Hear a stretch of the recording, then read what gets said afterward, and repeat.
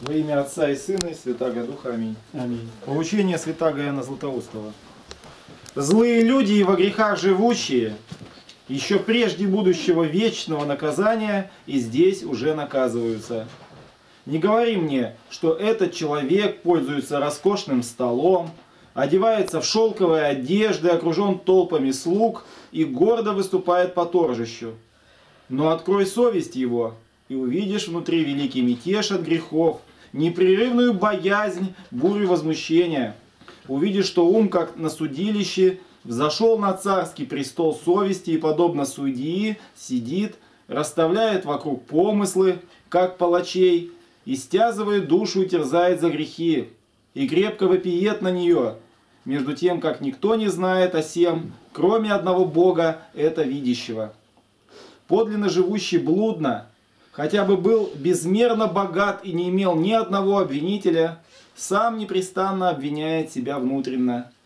Удовольствие у него кратковременно, а сколь постоянно. Отовсюду страх и трепет, подозрение и беспокойство.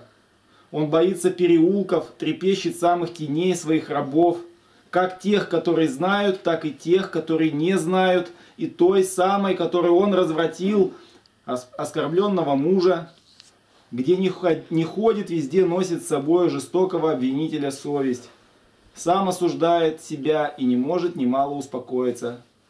Ибо на постели и за столом, и на торжище, и дома, и днем, и ночью, часто в самих сновидениях видит он образы своего греха, проводит жизнь Каина, и о чем никто не знает, внутри себя имеет огонь, всегда возгнетаемый. То же бывает и с хищниками, и с корыстолюбцами, тоже и с предающимися пьянству, и вообще со всяким из живущим о грехах. Потому что невозможно из, извратить оное судилище совести.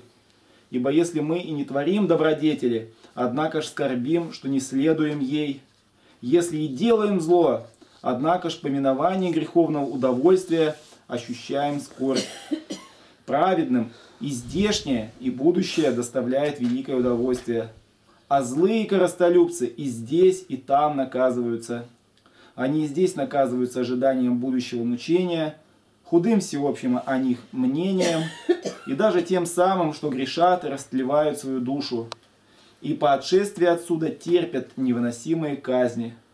Напротив, праведники хотя бы здесь терпели бесчисленные бедствия, питаются сладкими надеждами, вкушая удовольствие, чистое, постоянное, непоколебимое, а после сей жизни уделом их будут неисчислимые блага. Аминь. Из первой беседы о Лазаре.